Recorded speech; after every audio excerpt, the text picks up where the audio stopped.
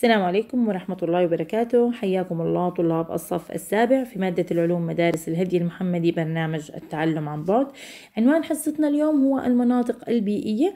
رح نبدأ في آخر وحدة في كتاب العلوم يتحدث فيها عن المناطق البيئية المختلفة في الكرة الأرضية مع المعلمات. ألا منتصر إلهام أبو عجمية حماس العلامات.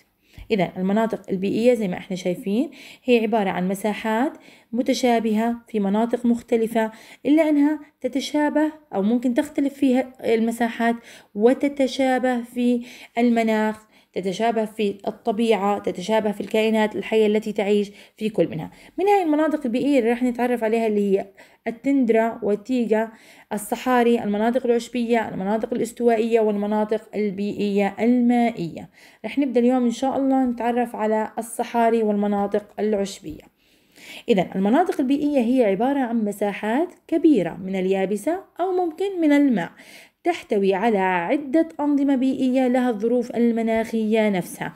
إذا ممكن إنها تكون مختلفة في المساحة إلا أن الظروف المناخية والكائنات الحية اللي بتعيش في كل منها متشابه.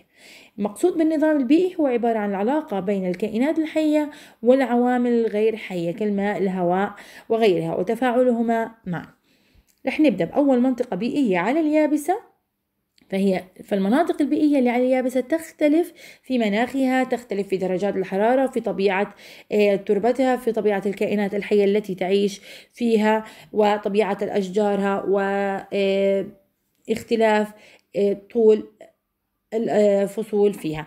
رح نبدأ بأول إشي معانا اللي هي الصحاري. زي ما بنعرف الصحاري هي تتميز بارتفاع درجات حرارتها بالإضافة إلى شح المياه فيها. إذا الصحاري هي أقل المناطق البيئية تنوعا والسبب يعود إلى مناخها الصعب فهي درجة الحرارة عالية جدا فيها وفرة المياه نادرة جدا تعاني دائما من شح في المياه. فالكائنات الحية المختلفة سواء كانت نباتات أو حيوانات لا تستطيع العيش فيها إلا إذا تكيفت مع هذه البيئة القاسية مثل مثلا الجمل أو اليربوع أو بعض الأشجار مثل التين الشوكي. إذا الصحاري أقل من المناطق البيئية تنوعا بسبب ارتفاع درجات حرارتها صيفا ومناخها الجاف جدا بسبب شدة حرارة الشمس. إذا معدل سقوط الأمطار فيها قليل جدا تقريبا 250 ملم سنويا وهذا هذه الكمية قليلة جدا. حيواناتها تنشط ليلا وأيضا هذا يعود إلى مناخها. فمثلا اليربوع حكينا يمارس ما يسمى بالسبات الصيفي يختفي كليا خلال النهار وينشط ليلا. أيضا نباتاتها تخزن المياه مثل الصبار أو اللي هو ما يسمى بالتين الشوكي. وهي تخزن المياه في سيقانها حتى تستطيع تحمل ندرة المياه فيها. أيضا جذورها متفرعة جدا وتمتد لمسافات كبيرة. زي ما إحنا شايفين مناخ الصحراء أعشاب شوكية ما فيها عنا أشجار ما في عنا كائنات حية تعيش فيها والسبب في ذلك اللي درجة الحرارة العالية جدا وعدم توفر المياه زي ما إحنا شايفين. اثنين معانا المناطق العشبية. من اسمها مناطق عشبية؟ إذا هي تكثر فيها الأعشاب. إذا تنتشر الأعشاب فيها وتضم المناطق العشبية الاستوائية أو ما يسمى بالسافانا. تتميز السافانا بارتفاع درجات حرارتها طوال العام.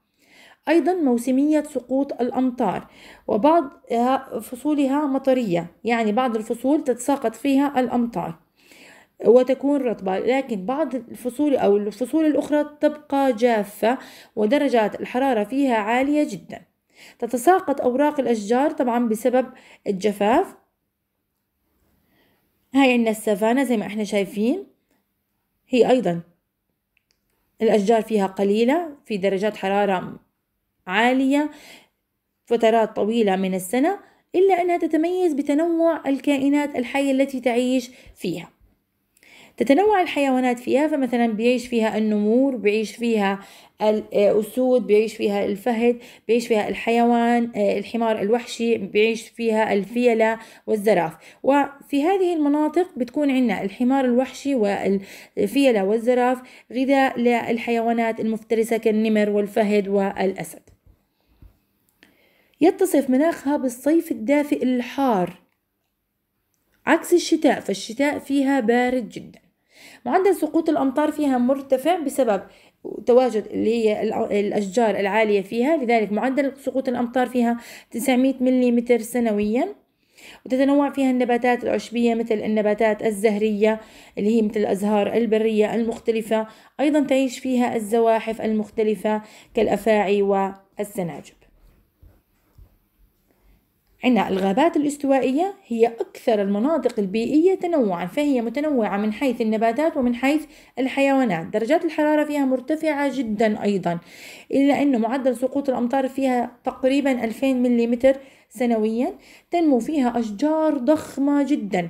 هاي الأشجار من ارتفاعها العالي تحجب ضوء الشمس عن المناطق أو عن ما يقع تحتها فبالتالي تنمو فيها نباتات صغيرة بتكون تحت هذه الأشجار. الضخمة وتتمتع بالظل الناتج عن حجب هذه أشعة الشمس. وهذه الظل أيضا بيسمح للحيوانات بالعيش في هذه المناطق بحرية مع إنها مرتفعة الحرارة. بيئتها رطبة ظليلة زي ما إحنا شايفين. إذا فيها أشجار عالية جدا تحجب أشعة الشمس وفيها نباتات صغيرة تعيش في هذه المناطق الضليلة الرطبة. تنمو فيها الحزازيات مثل الفيوناريا اللي بتكون أو تعيش قرب الماء وهي بتكون لا وعائية بالإضافة إلى السرخسيات كالخنشار وهي من النباتات العالية والكبيرة. تعيش فيها مجموعة من الحيوانات كالأفاعي مثلا عندنا النمور المرقطة وعندنا الطيور المختلفة. الغابات المعتدلة هي عبارة عن غابات مناخها معتدل من اسمها معتدلة أي حار صيفا نوعا ما وبارد شتاء. معدل سقوط الأمطار فيها تقريبا 1500 ملم سنويا. تتنوع فيها الأشجار ومن الأمثلة عليها اللي هي الأشجار المتساقطة الأوراق كالصفصاف أو دائمة الخضرة كالصنوبريات. الحيوانات التي تعيش في المناطق المعتدلة منها الدببة الثعالب الذئاب والثعالب والسناجب. جميعها تعيش في هذه البيئة. إذا هيك حصتنا اليوم خلصت.